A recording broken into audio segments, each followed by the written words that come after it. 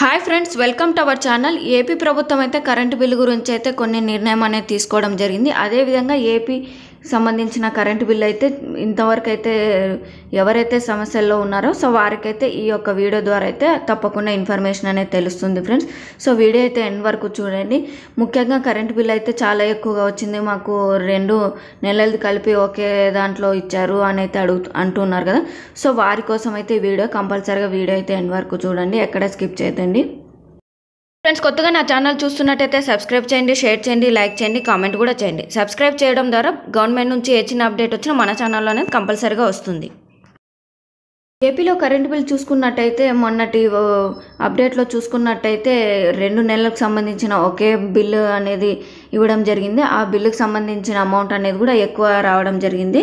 అదేవిధంగా అమౌంట్ అనేది మనకు యూనిట్ల ద్వారా అయితే ఎక్కువ అవుతుంది అని అయితే చాలామంది అయితే కంప్లైంట్ అనేది ఇవ్వడం జరిగింది. సో ఫ్రెండ్స్ మనకి ఇప్పుడు చూసుకున్నట్టయితే కరెంట్ బిల్ అనేది దీని ద్వారా అయితే మనకు ఏపీ ట్రాన్స్కో ద్వారా అయితే చర్చ జరిగింది. సో దీని గురించి అయితే మనకు ప్రతి నెల మనకు కేవలం ముప్పై రోజుల లోపలే ఒక రీడింగ్ అనేది తీయడం జరిగింది కదా ఇంతకు ముందు అయితే సో ఇప్పుడు ఏంటంటే లాక్డౌన్ ఉన్న పరిస్థితులు అయితే వేరే ప్రాంతాలకు వెళ్ళి తీయకూడదని అయితే అంటే మీటర్ రీడింగ్ తీసుకొని వాళ్ళకి బిల్ అనేది ఇవ్వకూడదని అయితే చెప్పడం జరిగింది. సో దాని ద్వారా అయితే మనకు డైరెక్ట్ రీడింగ్ అంటే మనకు ఫోన్లో మెసేజ్ అనేది రావడం జరిగింది కరెంట్ బిల్లుకి సంబంధించింది.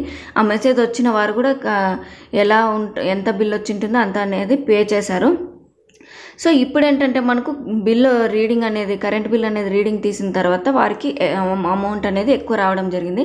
సో ఎందుకు ఎక్కువ అంటే చాలామంది అయితే ఎక్కువ వచ్చిందని అపోహపడుతున్నారు. ఎక్కువ అయితే రాలేదండి. సో ఎలా ఎక్కువ వచ్చింది అనుకుంటున్నారైతే మీరైతే మనకు దాదాపుగా చూసుకున్నట్టయితే ఒక మంత్కి కేవలం మనకు డెబ్బై ఐదు యూనిట్లు వారికి యొక్క అంటే డెబ్బై ఐదు యూనిట్ల లోపల యూస్ చేసిన వాళ్ళకైతే ఏ కేటగిరీ అదేవిధంగా రెండు వందల ఇరవై ఐదు యూనిట్లు వాళ్ళు యూస్ చేసిన వాళ్ళైతే బి కేటగిరీ అదేవిధంగా ఐదు వందల యూనిట్లు పైన యూస్ చేసిన వాళ్ళైతే సి కేటగిరీలో వస్తారని అయితే అనౌన్స్మెంట్ చేయడం జరిగింది. సో ఈ యూనిట్ వైజ్గా చూసుకున్నట్టయితే మనకు ఒక నెలకు సంబంధించిన వారైతే ఒక కుటుంబం సంబంధించింది అయితే ఒక యాభై యూనిట్లు అంటే వంద యూనిట్లకు స- మించి అయితే యూస్ చేయలేదని అయితే చెప్పడం జరిగింది. సో ఆ యూనిట్ల వారి వారిగా చూసుకున్నట్టయితే రెండు నెలలకు సంబంధించిన బిల్ అనేది తీయడం జరిగింది. సో ఆ బిల్ అనేది మనకు ఎక్కువ రావడం అనేది చెప్పడం జరిగింది. సో మనకు బిల్ వైజ్గా చూసుకున్నట్టయితే అమౌంట్ అనేది ఎటువంటిదైతే ఇంక్రీజ్ చేయలే చేయలేదండి కేవలం వాళ్ళు యూనిట్ వైజ్గా అనేది తీసుకోవడం జరిగింది రీడింగు. మనకేంటంటే బిల్లు వైజ్గా ఎక్కువ వచ్చిందని అయితే అనుకుంటున్నాము.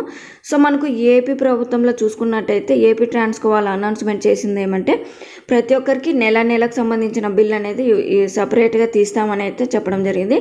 రెండు నెలలకు సంబంధించింది కానీ మూడు నెలలకు సంబంధించింది కానీ ఇలా బిల్ అయితే ఇవ్వము. కేవలం ఏ నెలకు సంబంధించిన సంబంధించిన బిల్ ఉంటుందో ఆ నెలకు సంబంధించిన బిల్ అనేది మీకు సపరేట్గా తీసి ఇస్తామని అయితే చెప్పడం జరిగింది.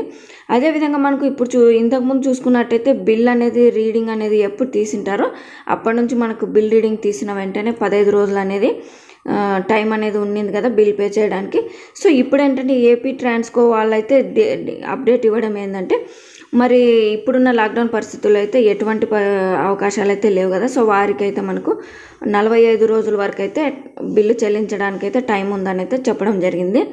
సో మీకు ఈ కరెంట్ బిల్కి సంబంధించిన ఎటువంటి క- కంప్లైంట్ కానీ సమస్యలు కానీ ఉన్నట్టయితే మీకు one nine one two call చేసినట్టయితే మీ యొక్క డీటెయిల్స్ కానీ మీ యొక్క కరెంట్కి సమ్ కరెంట్ బిల్లుకు సంబంధించిన రీడింగ్ నెంబర్ కానీ సర్వీస్ నెంబర్ కానీ చెప్పినట్టయితే వారు మీ బిల్లుకి సంబంధించిన డేటా మొత్తం మీకు మీకు మెసేజ్ రూపంలో కానీ అదేవిధంగా మీకు డైరెక్ట్గా ఎక్స్ప్లెయిన్ అనేది చేస్తారు. సో ఫ్రెండ్స్ ఈ అప్డేట్ చెప్పడానికి వీడియో చేస్తున్నాను. కంపల్సరీగా ఈ వీడియోని షేర్ చేయండి లైక్ చేయండి కామెంట్ కూడా చేయండి. అదేవిధంగా సబ్స్క్రైబ్ చేసుకోవడం మాత్రం అస్సలు మర్చిపోద్దండి ఫ్రెండ్స్ థ్యాంక్ యూ